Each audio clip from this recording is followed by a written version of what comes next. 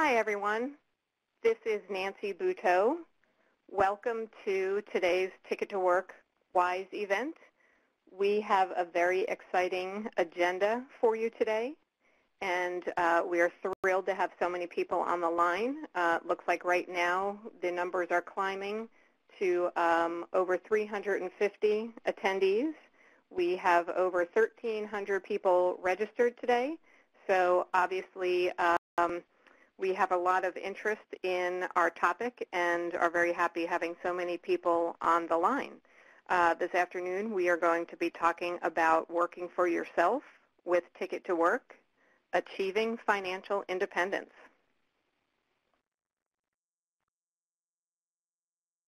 And you can manage your audio using the audio option at the top of your screen. It will look like a microphone or a telephone icon.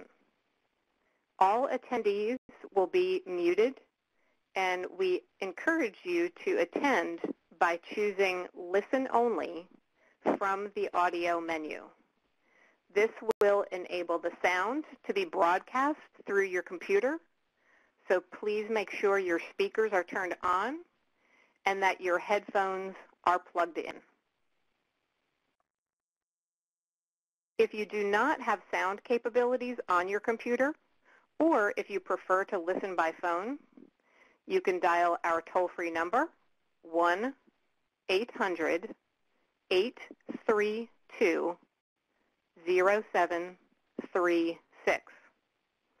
And the access code is 845-8462.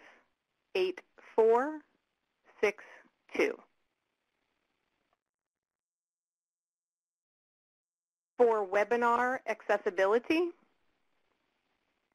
real-time captioning will be provided during this webinar. The captions can be found in the captioning pod, which appear directly below the slides you are looking at.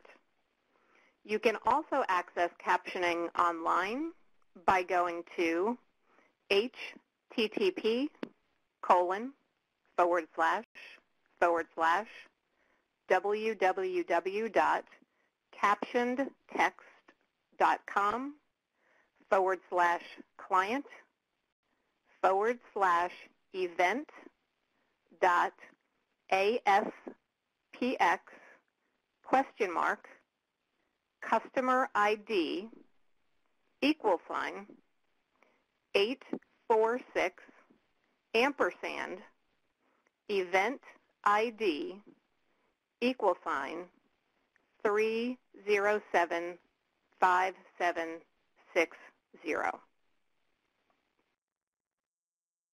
For questions and answers, please use the question and answer pod to submit any questions you have during the webinar, and we will direct those questions accordingly during the Q&A portion to our speakers. Uh, as I mentioned earlier, we have a wonderful agenda today. We have a lot of people that are watching and listening.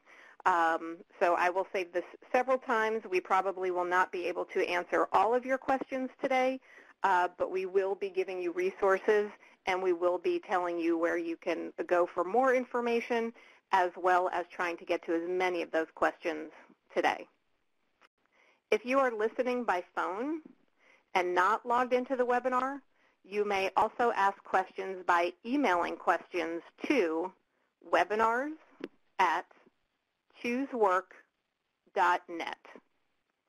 Please note that the webinar is being recorded and the archive will be available within two weeks on the Choose Work website at https colon forward slash forward slash www.choosework.net forward slash webinars dash tutorials forward slash webinars dash archives dot HTML. If you experience any technical difficulties during the webinar, please use the question and answer box to send a message, or you may also email webinars at choosework.net. So I am your moderator today, Nancy Buteau, filling in for Jamie Pendergraft. Uh, I am also with NDI Consulting. We have some wonderful presenters today. We have Colleen Moynihan from New England Business Associates, and we also have Marlene Uliski with the National Disability Institute Consulting. So I want to take a moment to welcome them and talk to you about introducing how Social Security can help you succeed at self-employment, ticket to work and work incentives. We are going to talk about why choosing self-employment may be best for you. We are going to hear from the New England Business Associates Business Development Center. We are going to give you a lot of self-employment resources and we are going to be also um, having several question and answer sessions so we can try to get to as many questions that you have as possible. So we are going to move into first the Ticket to Work program and we are going to be hearing from Marlene Uliski and Marlene, as I mentioned, is with National Disability Institute Consulting. And Marlene has worked for the Social Security Administration in the past for over 35 years. So she comes to us with a great deal of knowledge and experience. Marlene, Marlene we're in Florida, Florida and, and she has developed expertise, in, developing, relationships,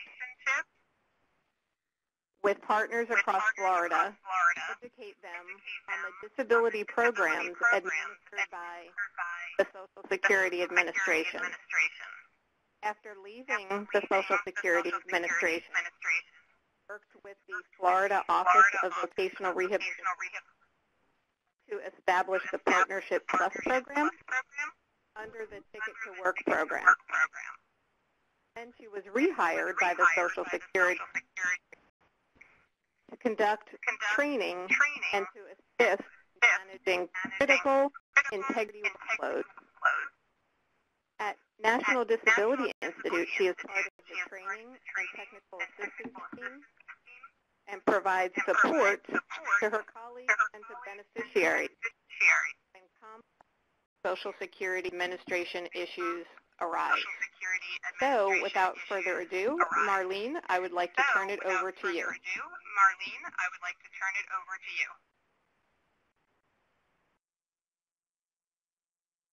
Okay. I hold on just one second. I'm having a little bit of technical difficulties. I'm not seeing the slides difficulty. I'm not Okay. Okay. Okay. Okay, now I see them. Very good. I apologize for that. Um, I'm hearing a slight echo. I'm hearing a um, slight echo. But I'm here this morning to talk, or this afternoon to talk about um, the different types of disability benefits a person may receive. And I'm going to start out with talking a little bit about SSDI benefits. And SSDI is Social Security Disability Insurance, and that pays benefits to persons with disabilities who, who have actually paid into the trust funds or paid FICA taxes. And benefits are payable not only to the person with a disability, but sometimes it's payable to members of the family as well. Um, so in addition to having a disability and meeting the insured status requirement, that means they paid in enough money into the trust funds, they worked long enough and recently enough that they were insured, um, they may qualify for a benefit under this program. This program also pays benefits to what's called um, childhood disability benefits, or you may have heard it referred to before as disabled adult child benefits and that's a benefit payable to someone with a disability. Disability began prior to age of 22, and they have a parent who is either deceased, retired, or disabled and filed for a benefit. Um, with this program, there's no income or resource requirements. That means that a person could have as much money in the bank as they wish, and it doesn't affect their benefits. And with this type of a program, Medicare entitlement comes with that generally after two years or after a 24-month um, waiting period. Um, the easiest way to know if you're receiving this type of benefit is when you receive the benefit check. If it is on the third of the month or on Wednesday, either the second, third, or fourth Wednesday, you're likely receiving a Social Security disability insurance benefit. Now, before I go on to SSI, you may be asking, you know, why do we always start out with this information or why are we providing you with this foundational information? And the reason is there's different work incentives that apply to the different types of benefits you may be receiving. So if you're receiving SSDI benefits, there may be specific work incentives or, or specific rules applied to your benefits when you go to work. And when you receive SSI benefits, there are different rules, and there are some that pertain to both programs. So that's why at the beginning of the presentation, we try to provide you with the foundational knowledge so that you know what type of a benefit you're receiving so that you know which rules may apply to you. So we're going to back up one second and talk about supplemental security income benefits. And supplemental security income benefits, um, that's a program where benefits are payable to a person with a disability, and the person may not have worked enough or recently enough or paid enough into the trust funds or paid enough FICA taxes that they're not insured. They may have worked just a little in their lifetime or have a spotting work history or just work intermittently or maybe their impairment didn't allow them to work consistently. So a person like that, if they have limited income or limited resources, they could possibly qualify for supplemental security income. And supplemental security income is a needs-based program, or sometimes we say it's means tested. So it's meant for persons um, with little income or little resources. Um, this year, um, the maximum amount payable for an individual receiving SSI is $733. Um, as you know, there was a cost of living increase, and that is going up to um, $735 um, in January of 2017. And some folks actually um, may be receiving benefits under both programs. They may be receiving Social Security disability insurance benefits and supplemental security income benefits. And you'll hear that referred to as concurrent benefits. That means that a person um, has worked and they paid into the Social Security system, they paid FICA taxes, and they were insured. And maybe their benefit isn't that high though, so it's low enough that Social Security can supplement it with supplemental security income benefits so long as they meet the income and the resource requirements um, of Social Security. So folks like that, they actually have Medicare that comes with the SSDI program and Medicaid, which comes with the SSI program. So they may have both benefits. So why choose work? Um, choosing work is a big decision for, for everyone. Um, but as you see on your screen, there's a lot of reasons why folks choose work. Some individuals, some persons may want more income. May their Social Security disability insurance benefit or their SSI benefit is low and they need to supplement that by working. Others they want to become a little more independent. Um, maybe um, you are a younger person and you want to move out of your parents' household, or maybe you want to purchase your own home, or um, maybe purchase a new vehicle. There are a lot of reasons why folks choose work. Um, another reason is meeting new people. Um, I know that some of my best friends are persons I met on the job, and by working too, it's not only meeting other persons on the job, it's meeting other persons who come to your job because that could lead to something, um, another job or a better job in the future. Choosing work also could lead to learning new skills. Um, you may receive some on-the-job training, training to do new things. You may um, sharpen your interpersonal skills. You may gain some computer skills and so on. And down the road, um, that also can help you to even get a better job. And uh, Nancy, could you advance my slide? It is not advancing for me. Seems like the connection I lost, but it's, I apologize. Hold on for one second.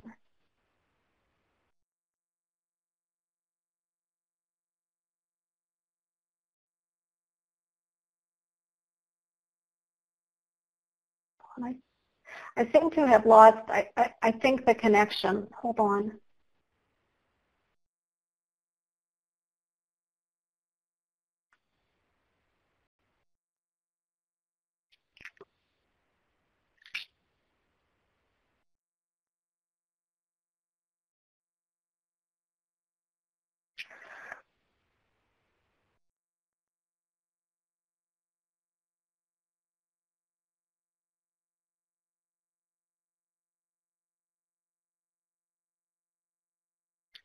I apologize. It's I'm I'm seeing a circle and hold on for a minute.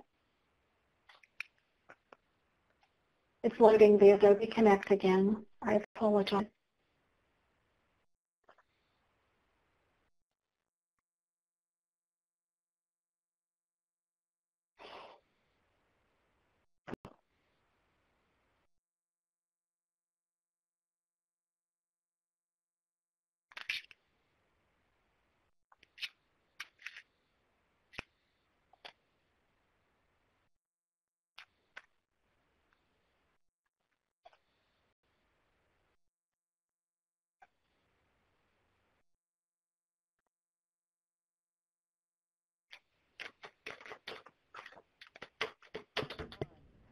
Sure, while you're reloading, Marlene, this is Elizabeth Jennings. Let's keep going. And sorry, everybody, okay. I'm guessing the giant moon just had some uh, results on our technology today. So let's talk about taking the next step. Uh, first, I just want to say for a moment, I'm really impressed that so many people are on the call today.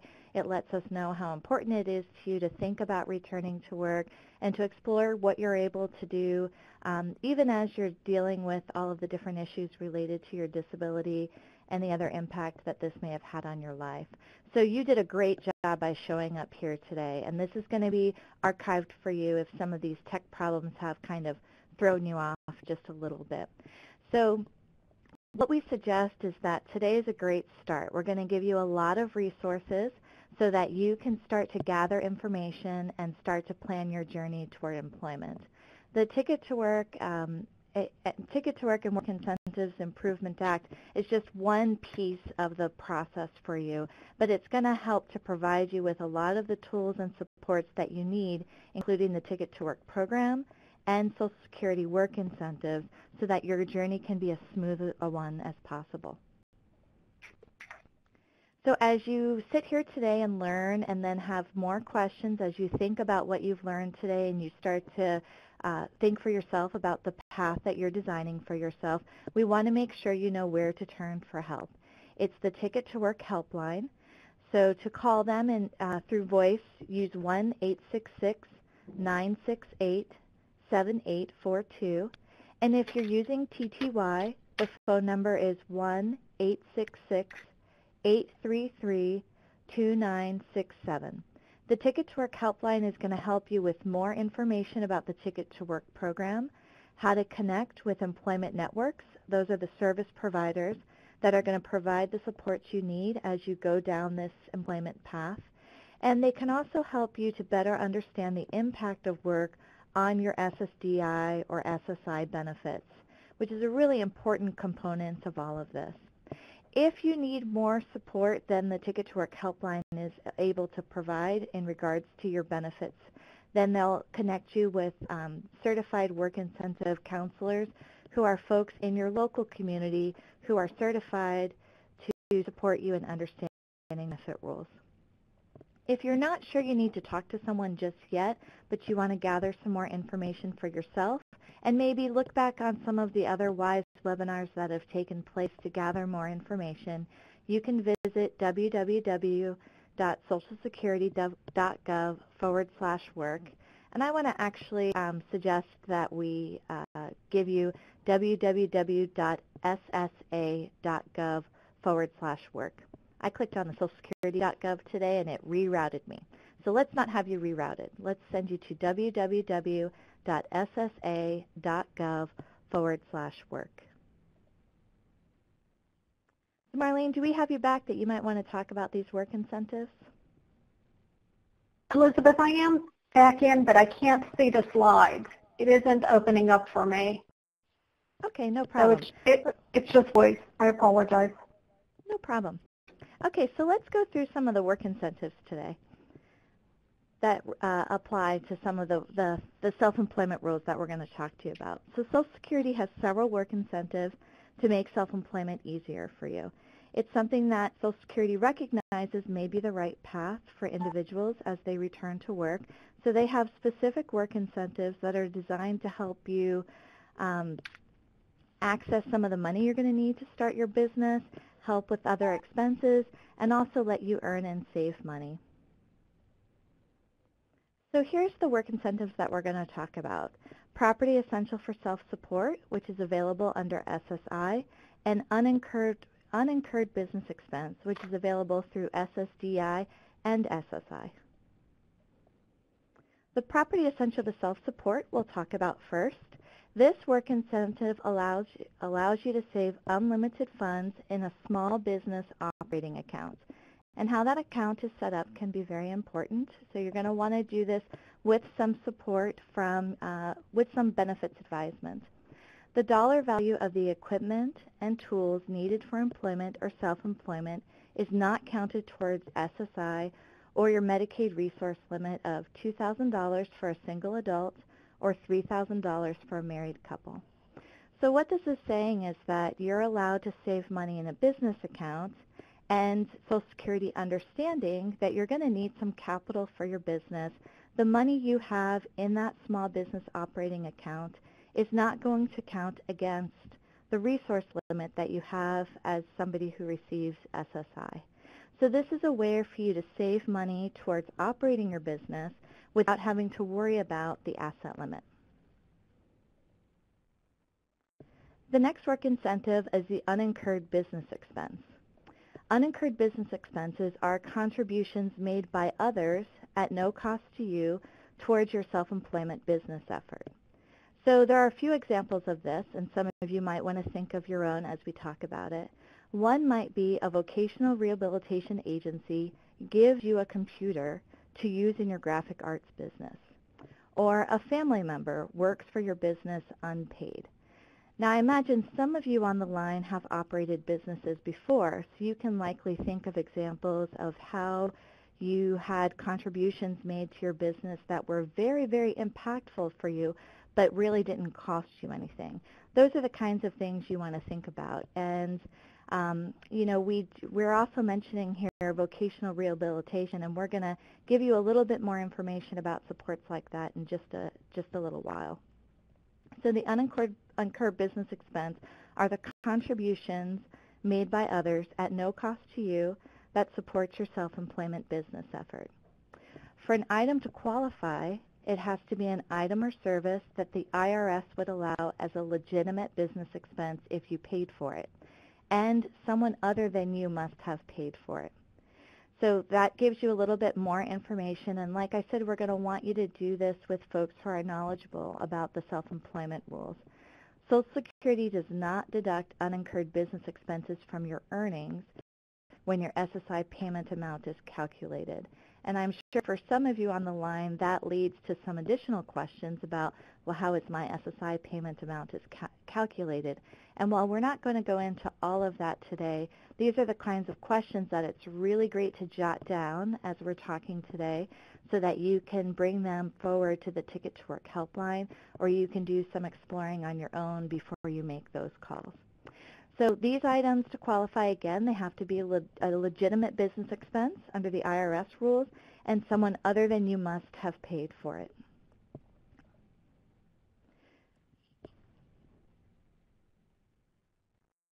So why would you choose self-employment?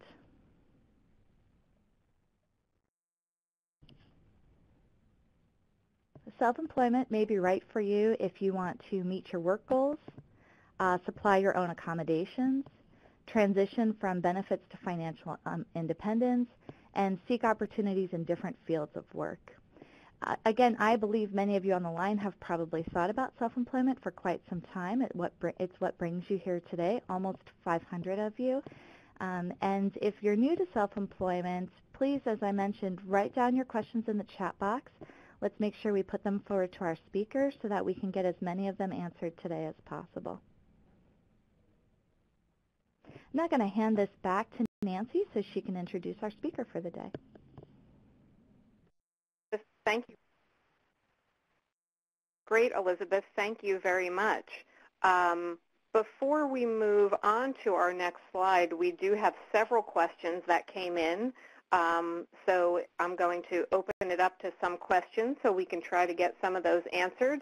And um, I will let uh, either you or Marlene answer those questions. And the first one is, how can I find out what type of benefit I am receiving? Okay. Elizabeth, I can answer that if you would like. Um, the easiest way for you to find out what type of a benefit you're receiving is to telephone the Social Security Administration at 1-800-772-1213, and they can tell you what type of a benefit you're receiving. Or if you are conducting other business in the office, and if you are doing that, it's always to have an appointment so that your wait time is limited. Um, they can tell you what type of a benefit you're receiving at that time. Another way you can find out what type of a benefit you're receiving, particularly if you are thinking about going to work or if you are working, is by telephoning a WIPA, a Work Incentive Planning and Assistance um, grantee. And the folks who work for these projects are called uh, CWICs or Certified um, community work incentive coordinators. You can find the, um, the, the name and the telephone number for the WIPA project, which serves your area, by telephoning the Ticket to Work helpline or by visiting the Ticket to Work website at www.chooseworkttw.net. Great. Thank you very much, and we have another question, um, which is, where can I find more information or resources on Social Security administrative work incentives? Okay, and um, that also, um, you can find that information through the Social Security Administration again, or another good resource is their website, um, www.socialsecurity.gov. Another good resource is the Choose Work website. Again, that's www.chooseworkttw.net.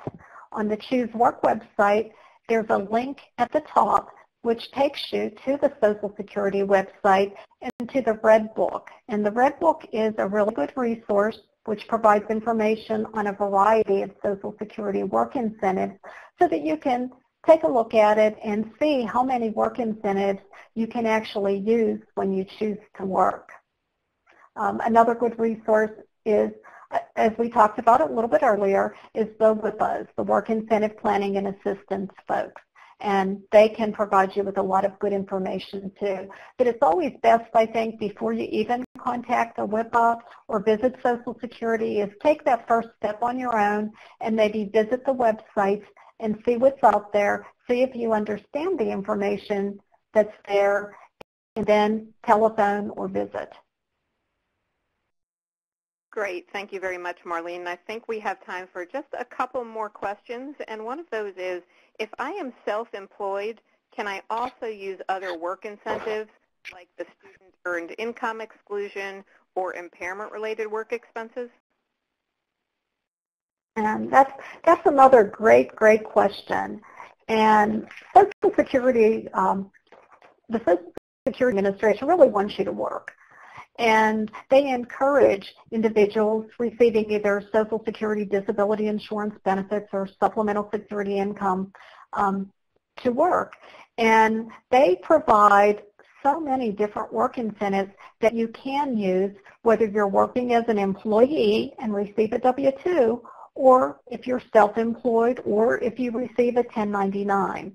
So some of the work incentives you can use if you're employed are impairment-related work expenses or the trial work period.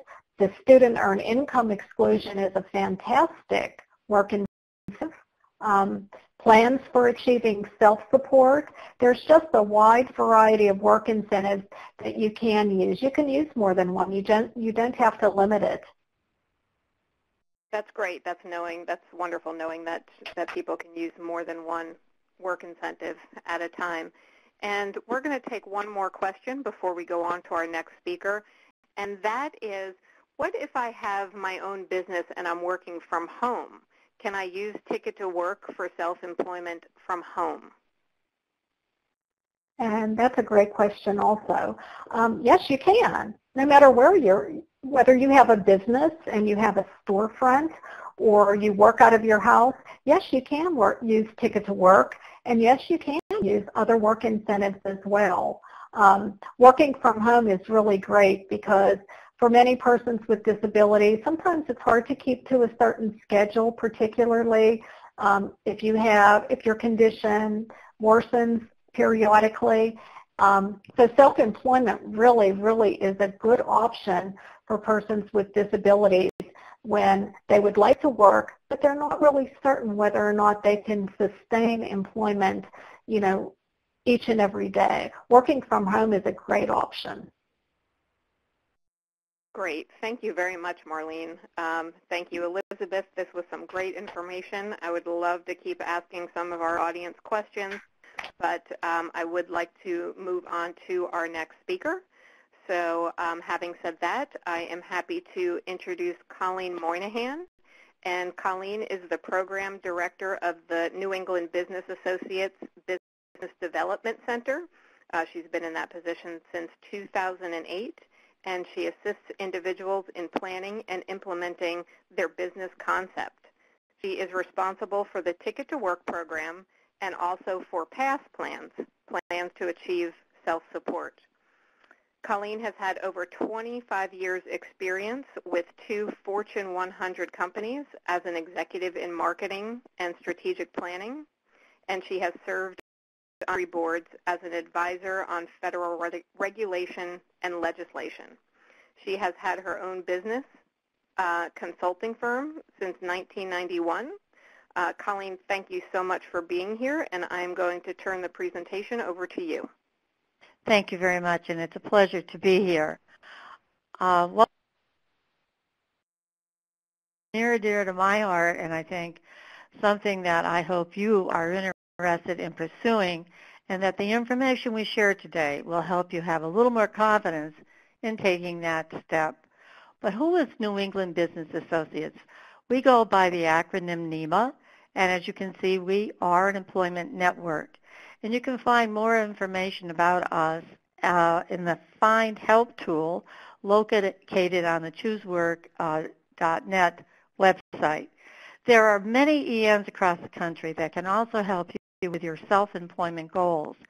Some of them may have not done a lot of work in this area, but they have the information and they have the tools. that can help you understand, as was discussed earlier, the kinds of benefits that Social Security provides to assist you in developing a business.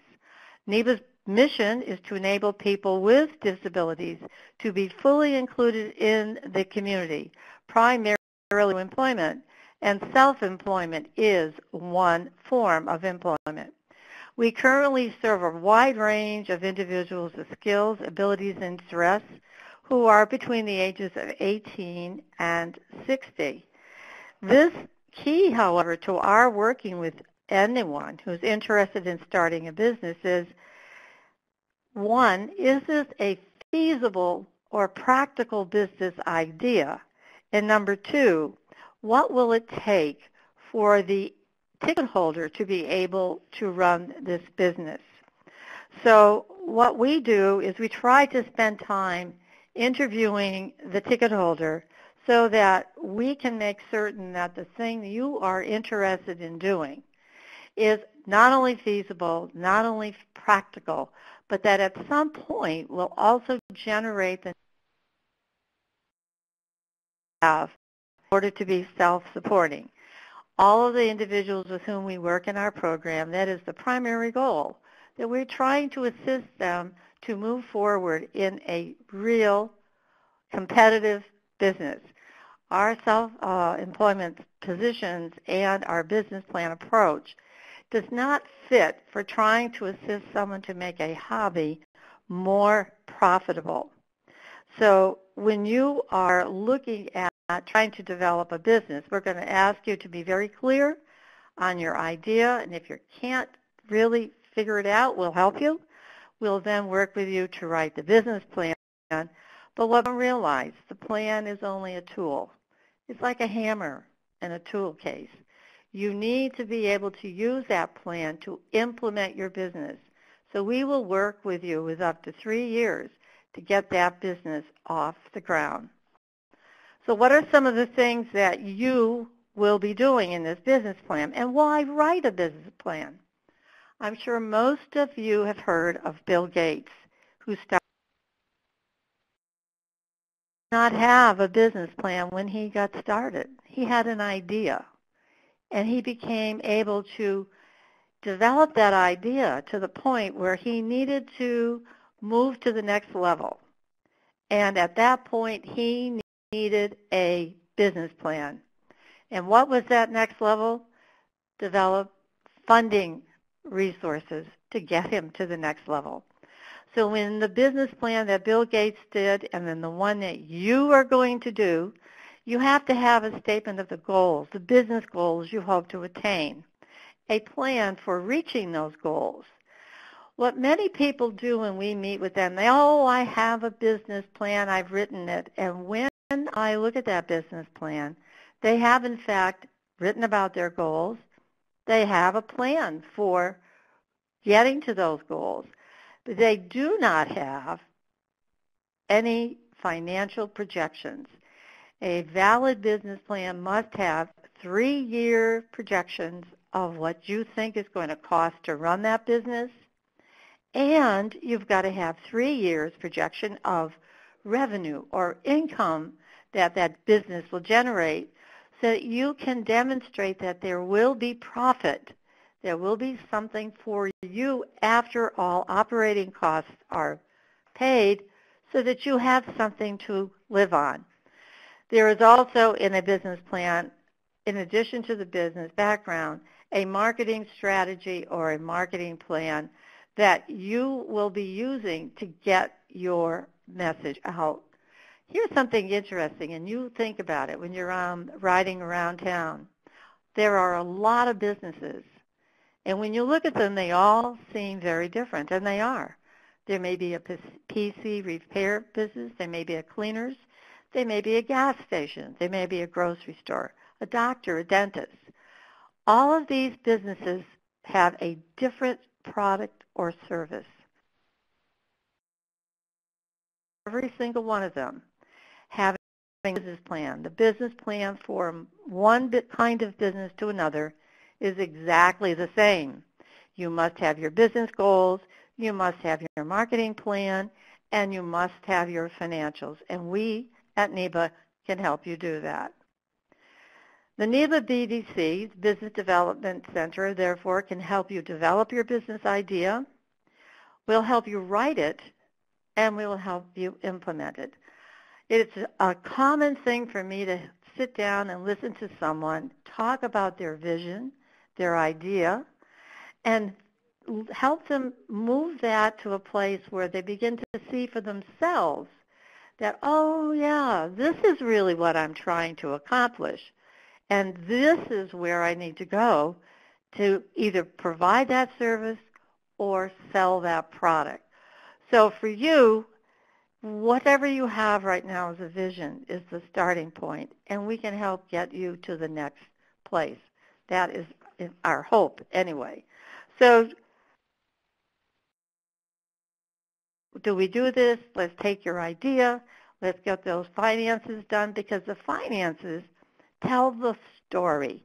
That is the exciting part of a business plan. And all of you sitting out there, oh, numbers? I hate numbers. We, will you find that those numbers are your best friend. They are the things that help you know whether you are succeeding, why you are succeeding, how you can succeed more, and the things you have to do in order to move that business to the very next step. And for all of us who are trying to, in fact, move into that next step, having support that you would get from developing your plan with an organization and employment na- network like NEBA is critical. So you can work with someone from NEBA. You can also work with other organizations in your area that have a lot to do with developing businesses, such as a SCORE office. And we're going to talk about this a little bit more. Anyone who does get accepted into our program, based on, it's usually because there is a very strong possibility their business is going to succeed and that they are willing to make a commitment to NEBA's program requirements. For most of you, it simply means that you need to have access to a computer and an email address. Now, when we start with folks, they probably have email addresses that are pretty interesting. And you may be asked to make a bit, an email address that's a little bit more professional, more intuitive, and recognized as a business. We talk about a computer because a business does need to run off a wide range of uh, materials. Sometimes if you're a restaurant, you may have to run off menus. If you are a website designer, obviously you're going to need a website to help other people create theirs. And that is only possible for a computer. And I make this point because many people today think that a tablet is going to be all they need. And that is misinformation. You need to be able to have a computer, a laptop, either one, and you must be able to do word processing and do spreadsheets. So you have to have software that does have Excel and Microsoft on it. Many times you can work with your vocational uh, rehab office to acquire these tools so that you can then move forward to do a business plan. Your conversation about what expects in developing a business plan must be completed within 60 hours or six months, whichever comes first. Most people complete their plan between three and four months, and that is usually the norm. But some folks have to have different pace. That's one of the wonderful things about doing your own business is that depending on your situation and your flexibility to get things, you're going to be able to accommodate the process with your own individual approach. If you do not complete the uh, plan within 12 months, uh, we will have to figure out what it is we have to do to help you move forward a little bit more effectively. Since 2009, which is when we started keeping track, we've been in doing this since 2007. We have worked with a lot of people. And we've had 241 people participate in the program. And I'm going to tell you, when I did these numbers, these numbers are greater now than they were the day I did this because we are always having new people come into our program. And that, therefore, is a, a number that was there probably a month and a half ago. We have completed 110 business plans. Well, since then, I know we've completed five more. So we have about 115 business plans that are completed. That is a number that is also rather um, interesting. We have statistics, so we know that we get about twice as many people inquiring to our program than actually finish it. And those people who do not complete a business plan, we have been able to develop skills for them. That means that they can go on and find better employment than they might have had had they not gone through. So our experience is that most of the folks who come to NEBA to look at self-employment may not end up writing a business plan or having a business, but they do have the ability to take on uh, employment in an area they may not have considered in the past. And they are able to be fully employed and sustaining some level of income that will, again, help them to get off of their benefits. We currently have 13 plans in process at this moment. By the end of this fiscal year for us, which is June, we probably will have written about, oh, I'd say 25 plans. As of this time, we have created 33 new jobs. That doesn't mean that it's the business owner. We're talking about the fact that some of the businesses that we have started hired people. They have employees. So you may have a business idea that as we develop it, here you need to hire someone to make get to that next level of running your business. So this is not just about writing a plan. It's about building opportunity. It's being an economic engine in your community. One of the things that you may not have paid much attention to is the importance of small business in the economy of the United States. We always think about big corporations employing hundreds, if not thousands of people. And we hear about these corporations many, many times laying off people. And you wonder, my gosh, what do those people do? Well, some of those people who get laid off, some of them start their own business. But there's another, a bigger sector of the economy, much bigger, that is the result of all of those small businesses that you see as you drive around where you live. Those cleaners, those PC repair shops, those stations. All of those places hire people. And you, as a small business person, may work out of your home or you may work in some setting outside of your home where you have employees. Do you know that it's even possible to work out of your home and have employees because you provide a service that they, your employees, can be working with customers in the community? So this is the, the double blessing of self-employment is that you find work for yourself and you help to create employment for others in the community. You heard me say a few minutes ago that one of the goals that NEBA has when working with an individual in the area of self-employment is that we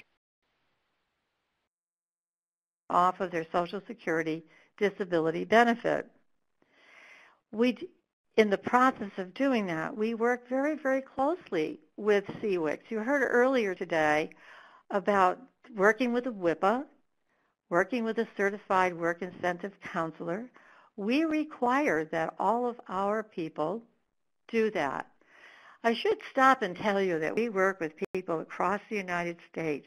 We are currently in about 39 or 40 states in the United States. We work with people from all kinds of businesses and in, all kinds of settings. But we do require that they meet with a CWIC in their community and to stay connected with that CWIC. We also help them work with Social Security in their area because when you are employed, as you know, it's also true for self-employment, you have to submit information to NEBA or the Employment Network and to Social Security about the revenue and work activity that you are doing. See CWIC helps you understand the impact that's going to have on your Social Security income benefit and on your health benefit. Those are two distinct benefits. They work on independent tracks, and while your income benefit may change with Social Security, many times your health benefit does not change. So again, it's that relationship that you have with the CWIC through your local work incentive and planning uh, office that will assist you in knowing what's going on for you. So in front of us on this slide, we have what we call our stars. They are moving off of their Social Security disability benefits to becoming fully, fully sustainable on their own. And you can see they come from all parts of the country, Georgia, Massachusetts, Colorado, Illinois, Michigan. We have folks in Washington State uh, that are also moving off of their benefits. And we continue to work with those individuals once they are off their benefits. As I said to you earlier, we will work with you for up to three years because we want to make certain that your business is going to be successful, that you will be able to continue to support yourself and your business as you move forward.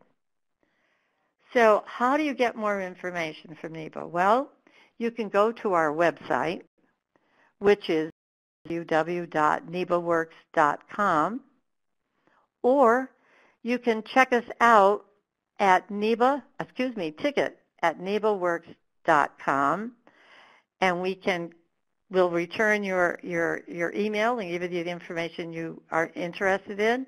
You will also find a phone number there that you call to get more information. And you can follow us on Facebook at w.com forward slash NEBA Works, N-E-B-A W-O-R-K-S.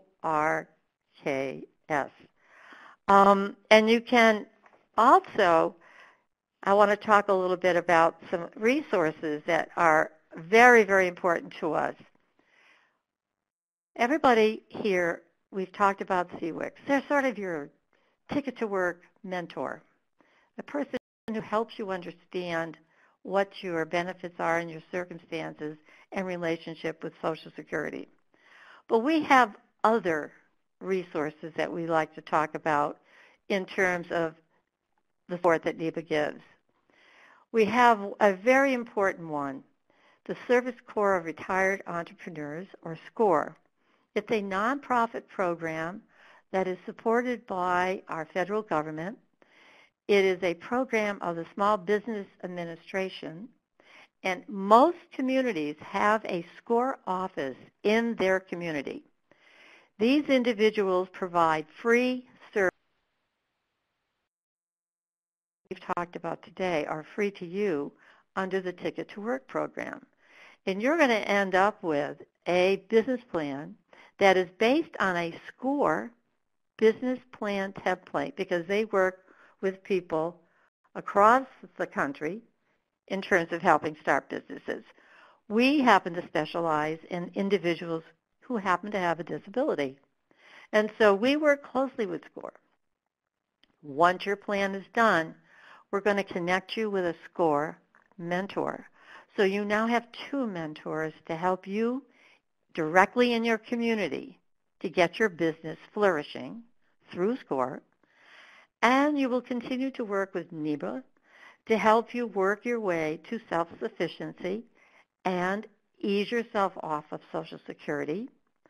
And those two mentors, the NEBA mentor and the SCORE mentor, will provide ongoing business support that you're going to need to be as successful as possible.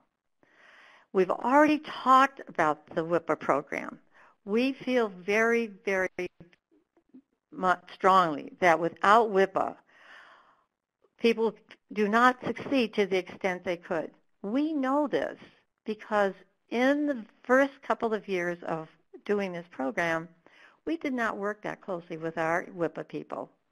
Once we started doing that, we were stunned at the level of success that our ticket holders were able to attain because they had the information that was specific to them, important to them, and a place to go where they get all of their questions answered in a timely manner. So as you can see, we are really believers of that process. And you've heard it before. You can go to the Choose to find the help you need.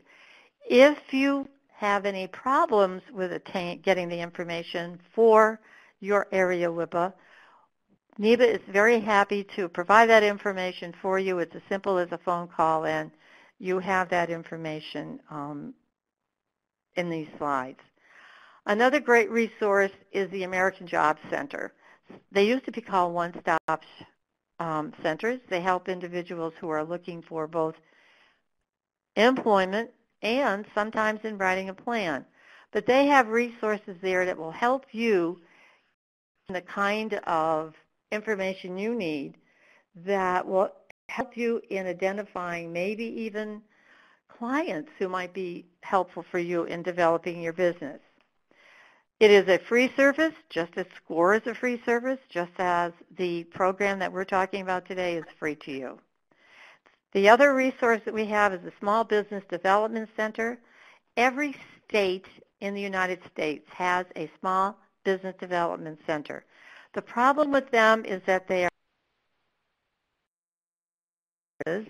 they tend to be affiliated or located in the state university, but they are out there and it is a resource that you can gain access to uh, very, very easily um, through maybe you have an extension program in your area that is part of the university program.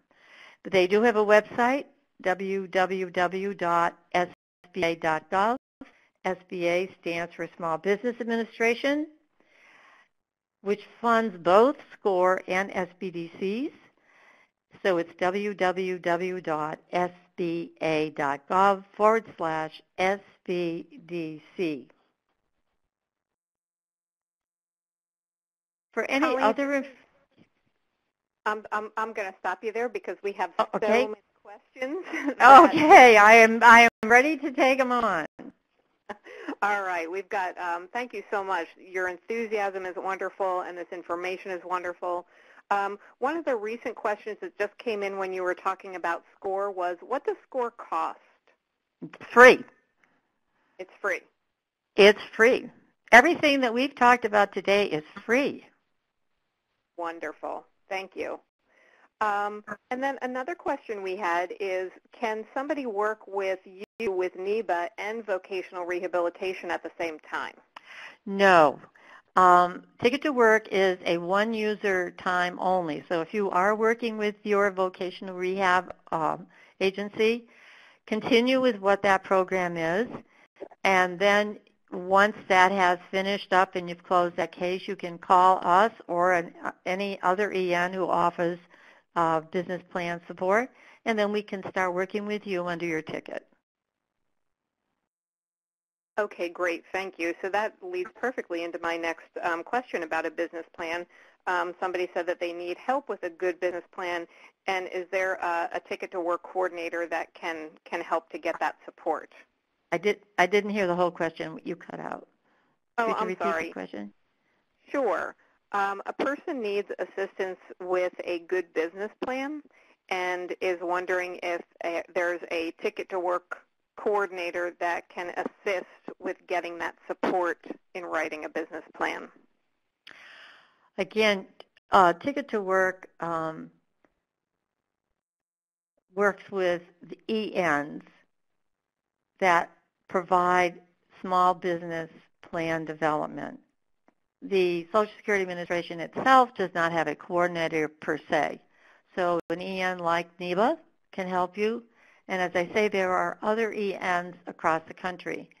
You can get that information again on the Choose Work website which will show you an EN in your area if there is one that does do uh, business plan development, or you can call us because we do work across the United States, and we've been doing that for many years now, and we work with all kinds of folks in all kinds of businesses, and we will work with you for up to three years. Up to three years, wonderful. Um, great, thank you. And another question, we've, we've got lots of questions for you, is um, how can I get help for business startup costs? Forgive me while I laugh. Uh, that's a, I'll tell you how. Uh, first, you got to write a business plan. No one will give you any financial assistance unless you have a business plan. And it has to have those three things we talked about, the business background, the marketing plan, and those wonderful numbers that many of us go about. But you got to have them. So once you have that business plan, then you can uh, consider going to your local lender and getting financial assistance. However, it's important that you understand that most lenders expect a business person seeking financial assistance to have been in business two years. Do you remember my saying earlier about turning in your wage stubs or turning in your earnings that you get from your business? Well, what I didn't add is that you need to also, when you are starting your business, you have to start reporting taxes. You have to fill out a Schedule C. You have to submit that to the IRS because that lender is going to want to see the tax returns for the last two years. So if you haven't been filing, you have nothing to show. Now you may say, well, I may not make much money, and by the time I get my expenses paid, there's nothing left. And you know what? That's true. However, you can show that on a Schedule C. The bank or the lender, they're they want to know, number one, have you filed your taxes? And number two, what kind of development of revenue from year one to year two is going on with that business? The only document that they will usually accept for having being the truth is a tax return. So it's that two years of being in operation. And I tell everybody, the minute you start doing a business, even though you don't have a plan and you're not planning on getting a plan yet, start saving those receipts. Keep track of what you earn and file a tax return. I love it when someone comes in and they say, I want to start a business. I've been doing it for a couple of years. And I say to them, have you filed your tax return? Yes. Great. You're going to be able to get some funding. A PASS plan is another way to get some funding indirectly. And a PASS plan takes too much time to explain in this particular session, but it's certainly something you can go online and see what a PASS plan is. There are some interesting uh, ins and outs with it, but you can certainly um, consider that as a way to get money. Wonderful. Sorry Thank about you. the long answer. no, that's great. That's fan, great information. Um, we have several people asking um, uh, about age questions and age requirements. Um, can you talk a little bit about the age range um, for NEBA, and is that the same age range for ticket holders? Our age range is a little different, and I think you caught that. We tend to work with people up to um, age 60. Uh, the reason for that is if I start a business plan when they are 60, it's they're going to be moving into uh, allowable retirement age at 62, 60, you know, and up. And so that uh, means that we would, they probably would do that, and we we can't support them at that point. So um, we do not generally work with folks um, who are over the age of 60. There may be some exceptions, but at that this at the current time, we have found that that it just doesn't work. We we used to do it, but they ended up just um, all of a sudden just vanishing. And we are a limited resource, and we want to help people who are going to be able to really have a business for their community. So. Okay. I know And- someone won't like that answer, but I, you know, it's it is what it is. Thank you. And yet another question for you, Colleen, is does NEBA work with people who receive SSI or SSDI or both? All the above. All the above. We work with anyone who is under the Ticket to Work program. Okay, wonderful. Thank you.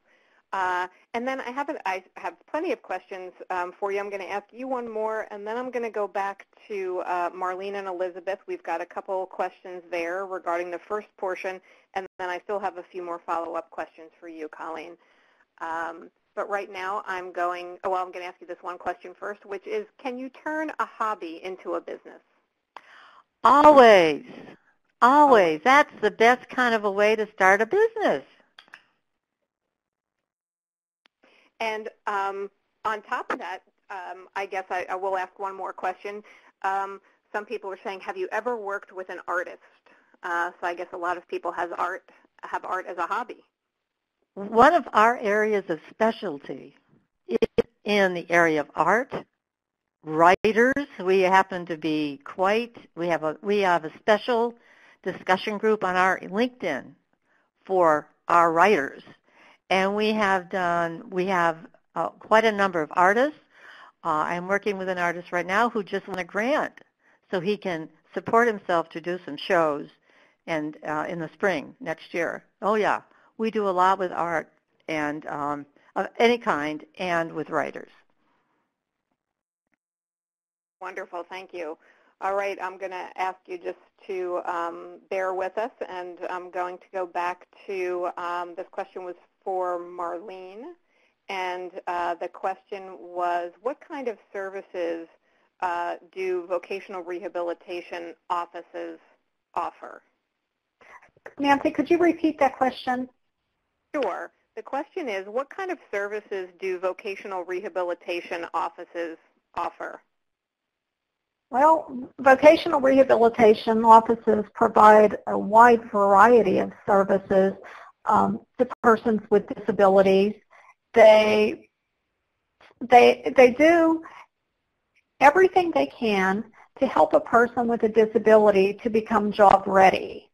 So that means testing them to see what their interests are po possibly, um, maybe looking at their past work, looking at what's available, um, seeing whether or not there are any needs related to their disability, um, possibly discussing training or on-the-job training or supports a person may need. Um, some of the vocational rehabilitation projects provide benefit planning services similar to what a work incentive planning and assistance grantee offers. Um, there's just a wide, wide variety of services. With regards to self-employment, um, they, a lot of the VRs, what I've seen over the years, they really think outside of the box. And they look at you as a person and what you can do, and they focus on what you can do and not what you cannot do. And that's really, you know, what you need, particularly if you're thinking about work and you're thinking about employment. You want someone on your team who can help you to move forward. So there's, it just depends. I would encourage you to contact your vocational rehabilitation office in your area and talk to them. Um, all of them conduct orientation sessions.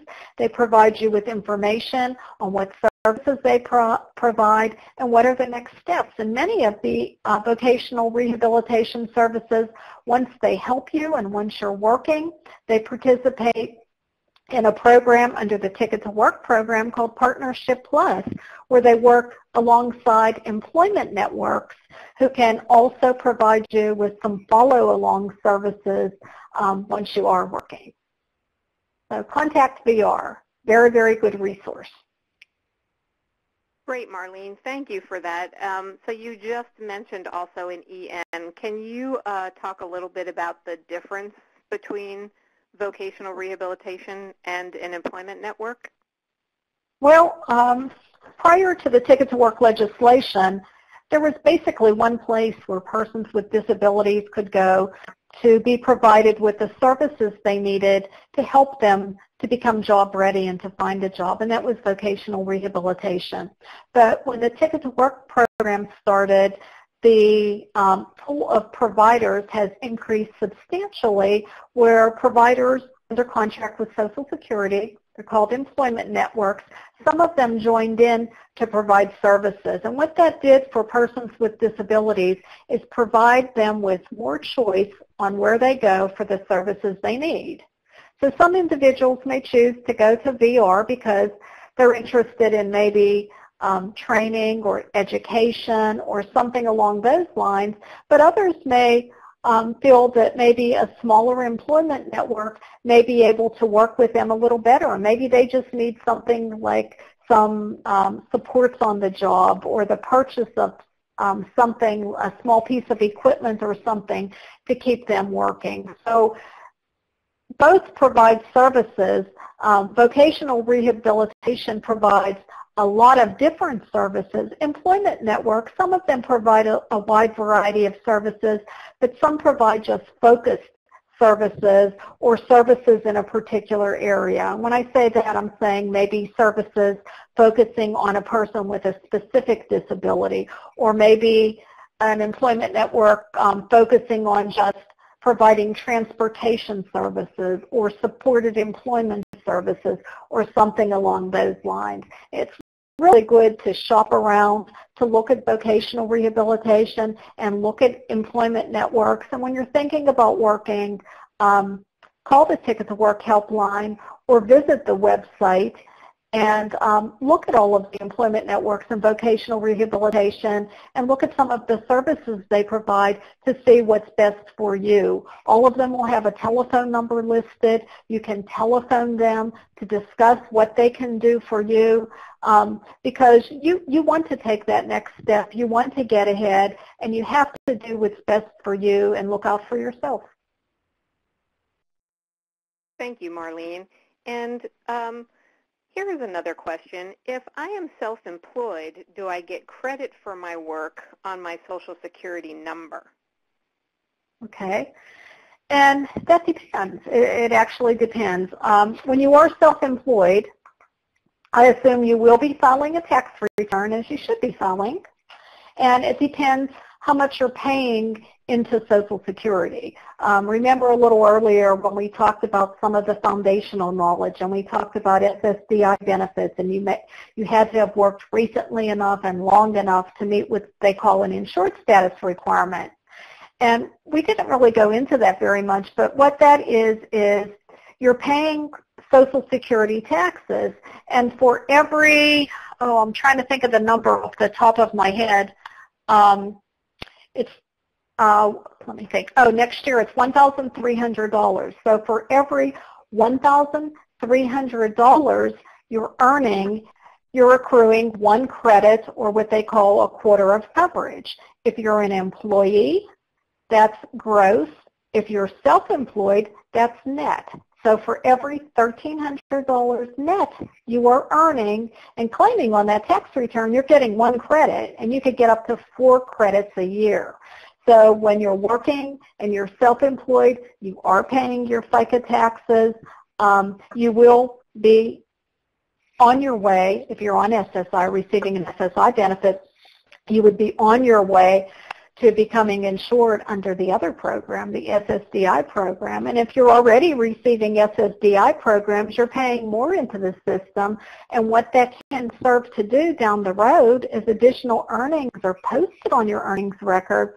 It could actually bump up your benefit just a little bit when the computers do what they call recomputation. So it's a good thing when you're working, you're self-employed, you're filing your taxes. Um, there is a benefit to that. Thank you very much, Marlene. We greatly appreciate your expertise. Um, I am going to go back to Colleen. We've got um, a few more questions that are coming in. And um, the first there is, can NEBA assist with developing a nonprofit business? Yes, that is still a business. Uh, even though the tax code calls it a nonprofit or a not-for-profit, it is still a business. it's just that its relationship or its structure relative to paying taxes is different. So we do both, and we have found that for many individuals, for example, with developmental uh, challenges, that a nonprofit sometimes can be a wonderful tool to assist that person in becoming more self-sufficient. Wonderful, thank you. And somebody else asked if NEBA will help them in acquiring an already established business. Um, when you're trying to purchase a business, that's really a dollar transaction. Um, if you need a business plan to get that loan, I think that is where we could be of assistance. Um, there are that's a little bit more uh,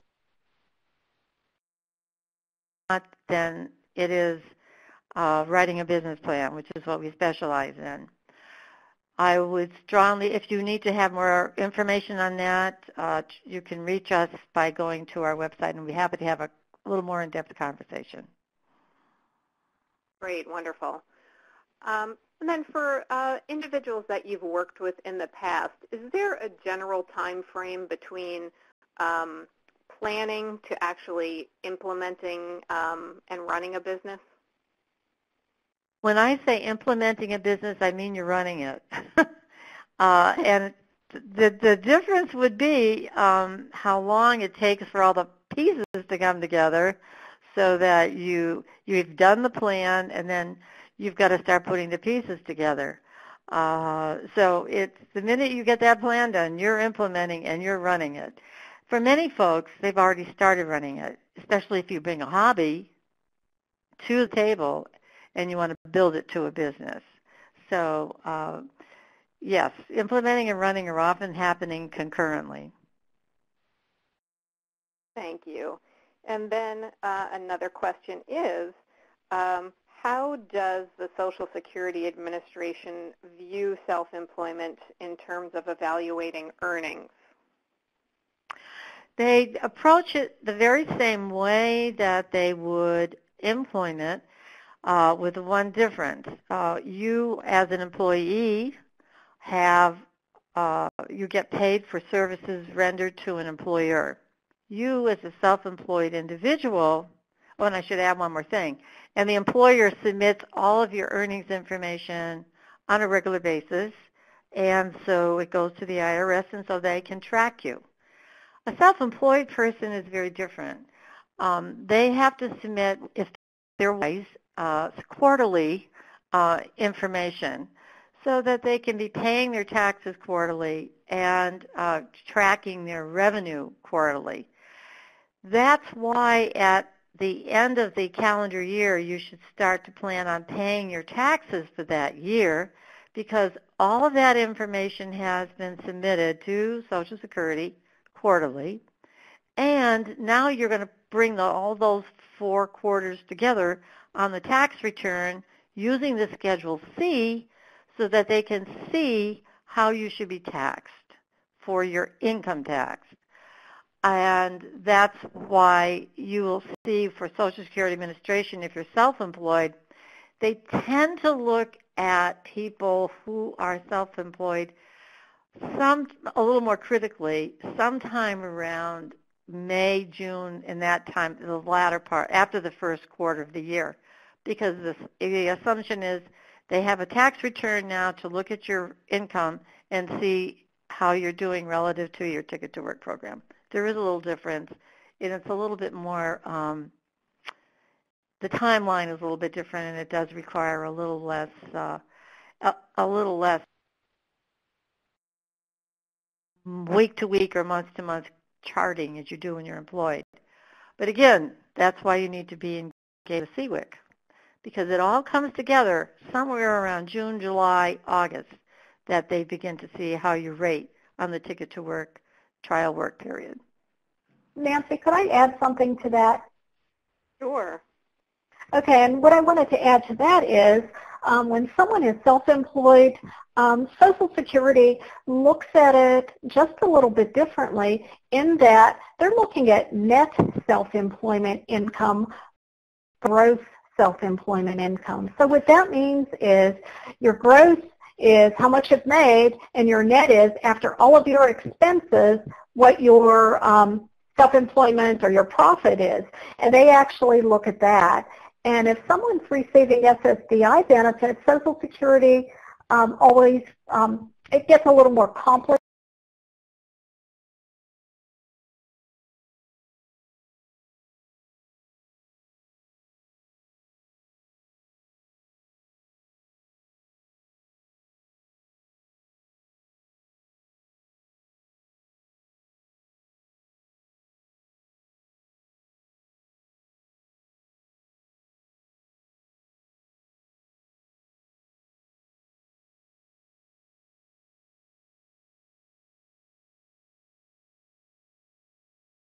dedicated project for some of the information that you need because you always need to do what's best for you. You need to know the facts up front um, and you don't want any surprises.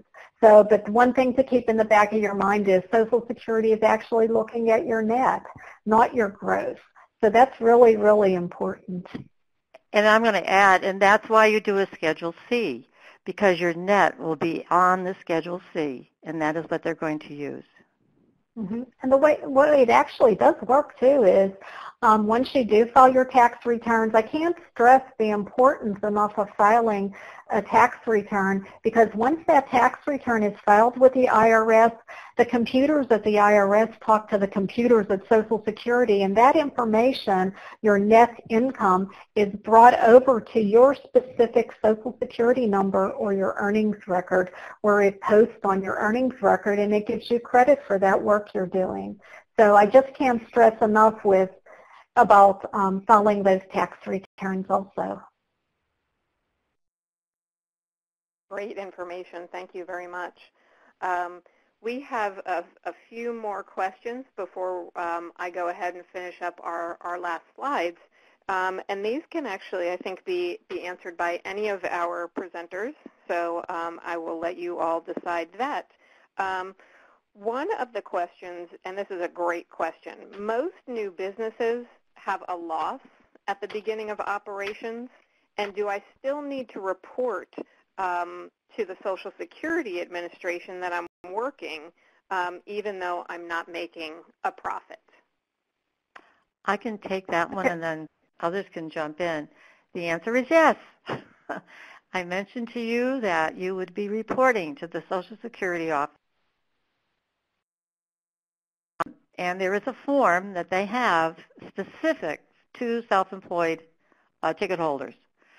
And what you're just going to do is to show them, because remember what was just talked about, your net earnings from self-employment, we call that NESE, N-E-S-E, because they're going to be tracking that on a more, um, uh, you know, I would say casual basis, because they're going to be looking for that tax return ultimately.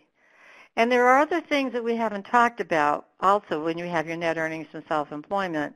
You also can apply in some circumstances some of those work incentives that were talked about earlier too, which will bring that taxable income down or more so, so to below zero, to zero.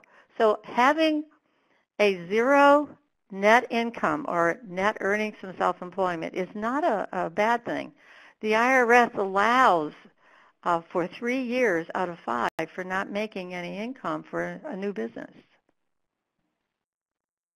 Okay, and then I'll, I'll just add to that also, Nancy, that um, yeah, it, it, really, really is crucial that you always report to the Social Security Administration, if even if you are um, having, if you have zero as net income or you have a loss.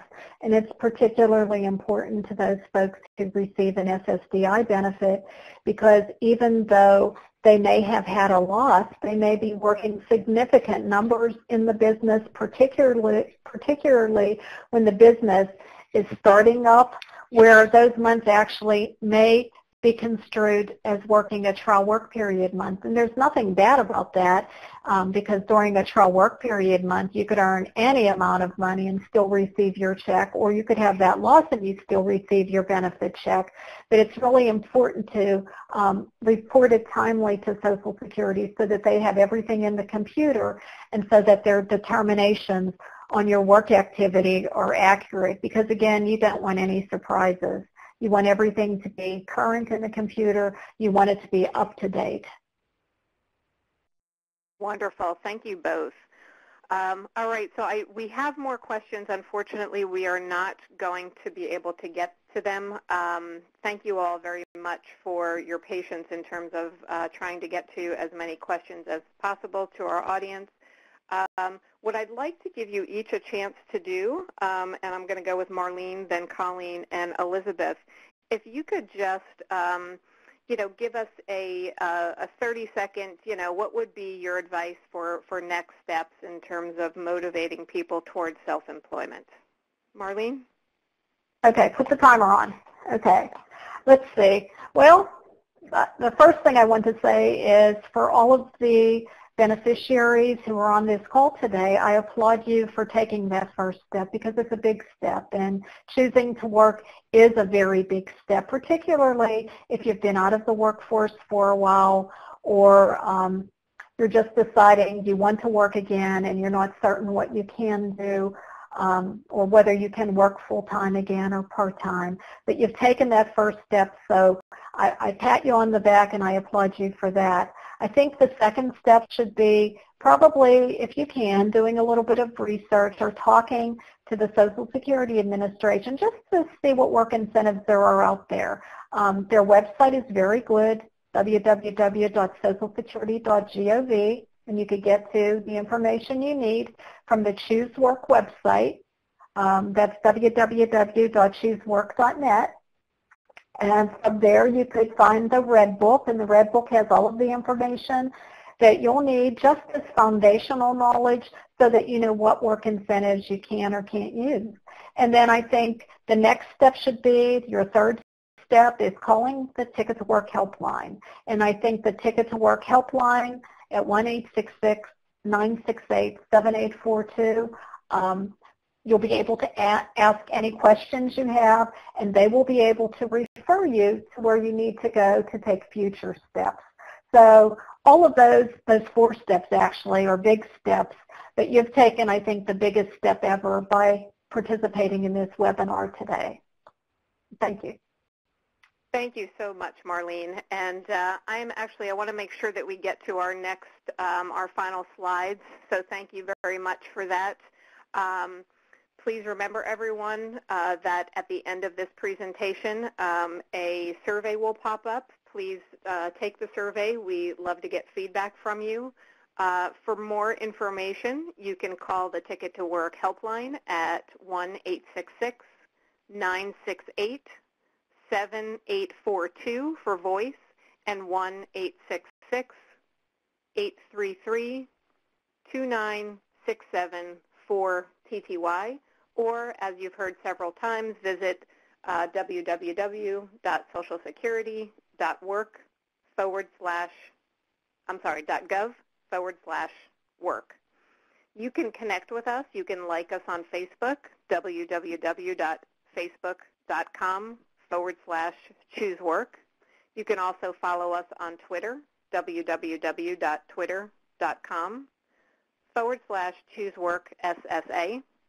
You can also watch Ticket to Work videos on YouTube at http colon forward slash forward slash www.youtube.com forward slash choose work. And you can also follow us on LinkedIn, https colon forward slash forward slash www.linkedin.com forward slash company forward slash ticket dash two dash work. And lastly, I want to remind you to please join us for our next webinar, which will be Wednesday, December 21st from 3 o'clock to 4.30. Thank you very much for joining us. And in order to register for that, please go to www.choosework.net forward slash WISE. Or you can call 1-866 968 7842 for voice or 1 866 833